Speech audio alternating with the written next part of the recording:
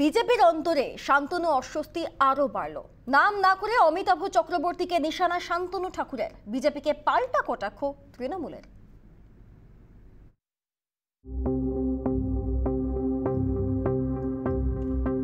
বিজেপির বিক্ষুব্ধ নেতাদের সঙ্গে বৈঠকের পর জয়প্রকাশ মজুমদারকে পাশে নিয়ে একের পর এক বিস্ফোরক দাবি করলেন বনগার বিজেপি সাংসদ শান্তনু ঠাকুর। পোর্ট গেস্ট হাউসের বৈঠক শেষে নাম না করে বিঁধলেন বঙ্গ বিজেপির সাধারণ সম্পাদক অমিতাভ চক্রবর্তীকে। দেখুন সংগঠনের একজন নেতা আপনাদের নিশ্চয়ই নাম বলতে হয় না বুঝেই গেছেন কে? সংগঠনের দায়িত্বে কোন নেতা আছে সেটা আপনারা বুঝে গেছেন। আমি নাম বলে তাকে আমি হাইলাইট করতে চাই না। আমি জানি না তার কি প্রভাব আছে পশ্চিমবঙ্গে।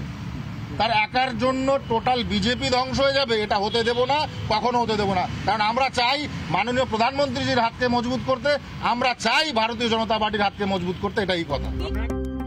বিজেপির নতুন কমিটি নিয়েও প্রশ্ন তুলেছেন। কেন্দ্রীয় প্রতিমন্ত্রী।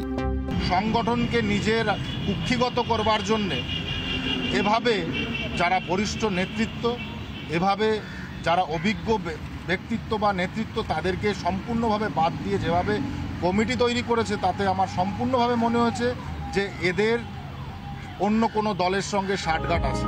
বিজেপির অভ্যন্তরে এই কোন্দলকে পাল্টা কটাক্ষ করেছে তৃণমূল।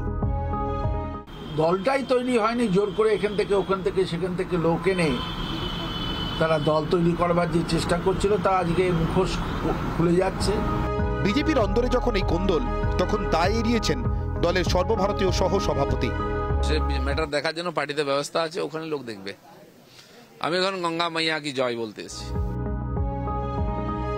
শান্তনু ঠাকুরও তার নেতৃত্বে দলের একাংশের এই বিদ্রোহকে অবশ্য দলবিরোধী কার্যকলাপ বলে মানতে নারাজ বিজেপি রাজ্য সভাপতি।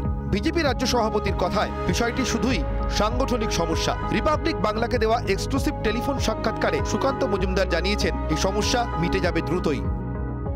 আমি আপনাদের সকলকে এবং আপনাদের মাধ্যমে বিজেপির কর্মী সমর্থকদেরকে আশ্বস্ত করতে চাই। আগামী কয়েকদিনের মধ্যেই সমস্ত সাংগঠনিক সমস্যা আমার আমার নেতৃত্ব হিসেবে যে কাজ দিয়েছে আমাকে, আমার নেতৃত্বরা, আমি সেই কাজ করব এবং এই সমস্যার সমাধান আমার প্রশ্নটা অন্য। শান্তনু ঠাকুরের নেতৃত্বে আপনাদেরই দলের সঙ্গে থাকা, দলের সদস্য নেতারা যে বৈঠক করেছেন এবং তাদের এই যে উদ্যোগ, তারা যেটা জানাচ্ছেন বিজেপিকে আরও শক্তিশালী করবার জন্য, এটা কি আপনার আপনি দল বিরোধী কাজ হিসেবে দেখছেন না দলকে মজবুত করার কাজ হিসেবে দেখছেন?